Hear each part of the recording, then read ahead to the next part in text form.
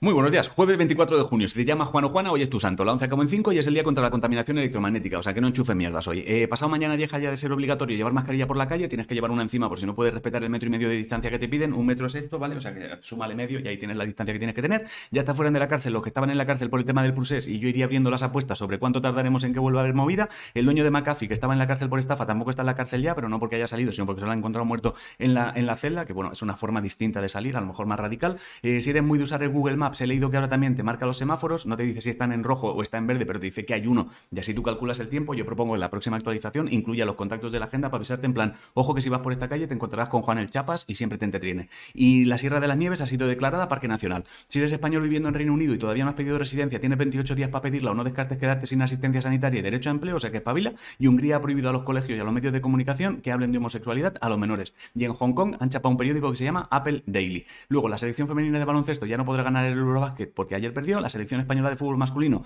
le metió cinco goles a Eslovaquia y pasa a octavos de final de la Eurocopa. Felipe Reyes, que es un mítico del baloncesto, anunció que se retira. Los Suns ganaron a los Clippers, esto es NBA. Y en motos, el Gran Premio de Japón se ha suspendido. Ah, y en Taekwondo parece que al final la federación se la ha jugado pero bien a Jesús Tortosa y lo deja fuera de los Juegos Olímpicos de Tokio por un enfado que tienen ellos con su padre, básicamente. A los creadores de la vacuna les han dado el premio Princesa de Investigación. Si te gusta leer terror, Silvia Moreno sacó ayer un libro que se llama Gótico. Carmen Rigal tiene uno que se llama Noticias de mi vida. Antonio Banderas anunció en Instagram que el musical Chorus Llega a Madrid el 8 de octubre. Bruna tiene tema nuevo desde anoche, de Yabu se llama, y Sidonia actúa mañana en Calvia para 5.000 personas. Luego, si te suena el juego Sonic, ayer cumplió 30 años, o sea que así de viejo eres, en eSports hoy es la jornada 8 de la Superliga LOL, recuerda que ya tienes parche nuevo y tocho en Valorant y hoy empiezan las finales regionales de la EA Sports Global Series de FIFA 21, que igual es súper importante o igual es como uno de esos bailes que tus hijos hacen en la urba y no le interesa a nadie más que a ti.